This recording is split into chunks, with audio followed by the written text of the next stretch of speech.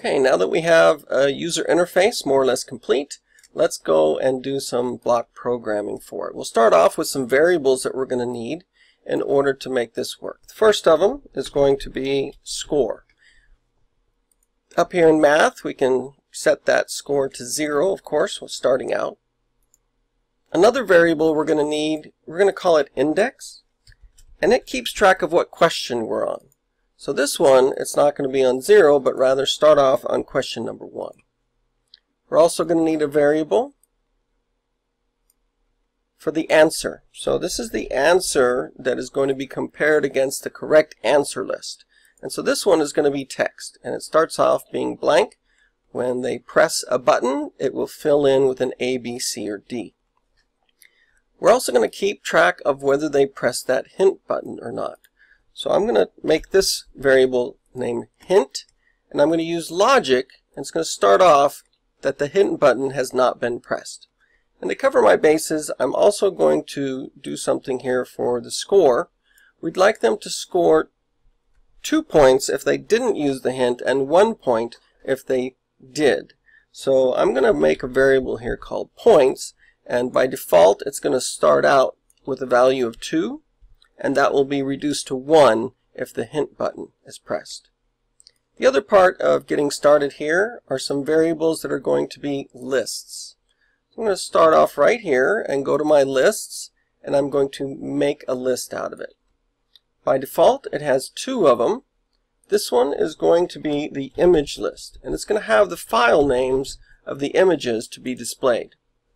There's going to be 10 of them. If you haven't got 10, let's be optimistic and go ahead and make the 10 spots. If you know you're going to have more already, you can add those in now. But you click on this right here and you add the items. That's 3, 4, 5, 6, 7, 8, 9, and 10. So now we've got blank list of 10 and these are going to be text. And the name of the file is going to go right in there. So I'm going to use my copy paste here to easily fill in the rest of these.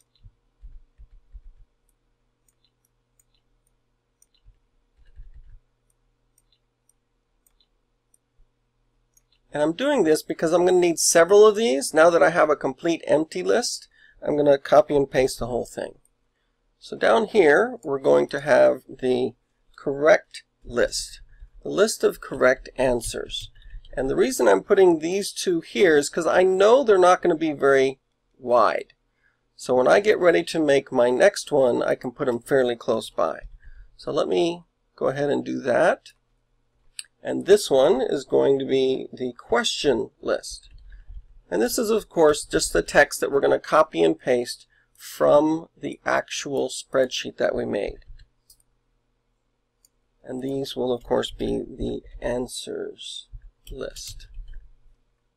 Now, these are going to be longer, just depending on how long your questions and stuff were. So, we will leave a gap, and we'll probably have to move these over for the last pair. And these are going to be the links.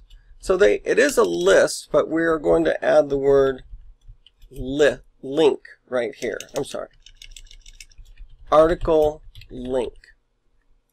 And then we might as well, since we have it, depending on if we have a chance to use it or not, maybe one of those advanced things that we do as an add-on. But let's go ahead and preserve the image link as well.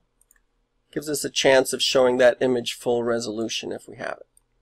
So this is now going to be where we type in. It's the only one we won't really be copying and pasting.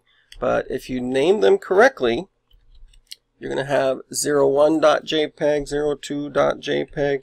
And remember, if you do have a PNG, then remember which one it is and put PNG in there instead.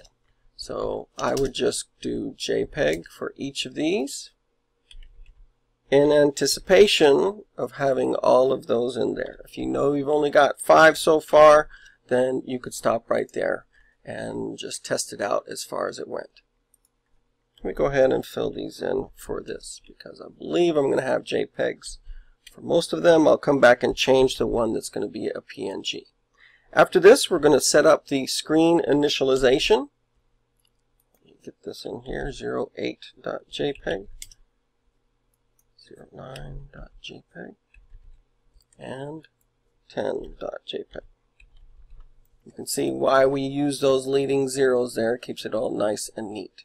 So then you'll go to your spreadsheet and you will copy and paste from each of the cells the letters and the questions, the answers, and then the links to both the article and the image.